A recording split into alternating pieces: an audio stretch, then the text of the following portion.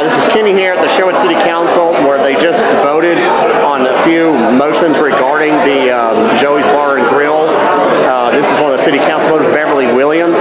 Uh, ma'am, you could state just kind of what happened here and, and explain why? The, we elected to cancel and reject all the bids that came in and to continue the negotiation that had begun earlier in the summertime with the current attendant.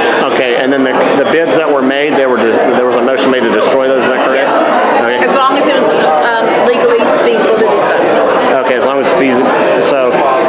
previous arrangement that was originally done with Joey's Bar and Grill is now basically back in place. They're going to have to negotiate for the release. Got to negotiate to renew the lease starting January 1st. Okay.